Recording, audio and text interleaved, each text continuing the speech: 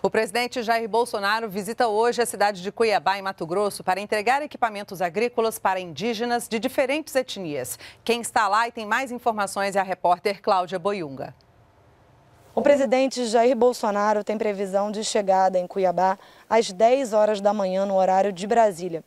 Ele vem fazer a entrega de 14 tratores a indígenas que trabalham com agricultura em suas terras e são de diferentes etnias, como Pareci, Nambiquara e Terena, entre outras.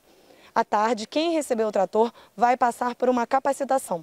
O presidente vem participar do seminário de etnodesenvolvimento e sustentabilidade do Centro-Oeste, organizado pela Secretaria de Governo e pela FUNAI, Fundação Nacional do Índio. O evento aborda políticas de fomento à agricultura, extrativismo e pecuária para indígenas em suas terras. Eu conversei com um representante do povo da terra indígena Rio Branco, em Rondônia. Esse trator será bem-vindo para que possamos fortalecer ainda mais aí a, ao trabalho que a gente vem fazendo ao longo do tempo.